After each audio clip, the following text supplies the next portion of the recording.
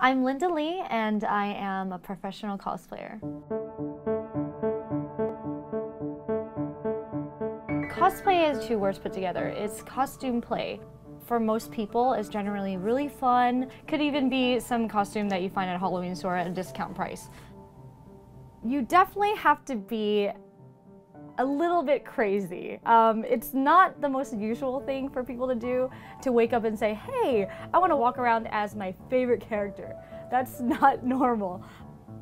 My mom is actually a tailor and a seamstress. We couldn't really afford all the nice costumes, so my mom uh, made our costumes for us. But at the time, I was I wasn't super happy about it.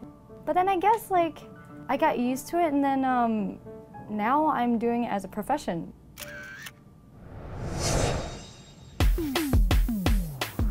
If you're a woman into uh, cosplay, generally they're like, oh, you're totally into the sexy version of this or something like that, which is not a bad thing. But for me, I generally go the art route.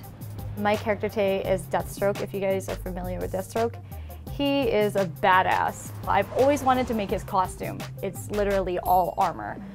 Generally, people don't make a lot of money, but for the ones that do travel and take this quite seriously, they can make onwards to uh, six figures.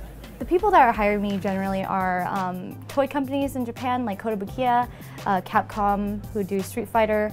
I travel three to four weeks out of the month. Sometimes I'm never home. Like this month, I just got to see my bed once.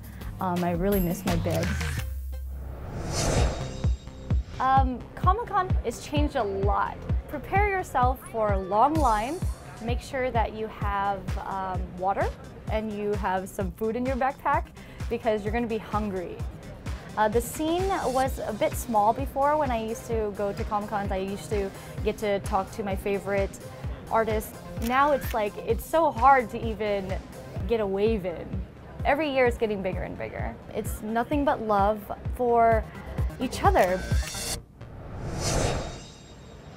For me, cosplay is definitely not so much play because I take a lot of pride in my costumes that I make and uh, they generally um, run up a really big bill for me at the end. Costumes cost about $200 onwards to like $4,000. I would generally like to say that I'm making an ode to the creator of uh, the specific character.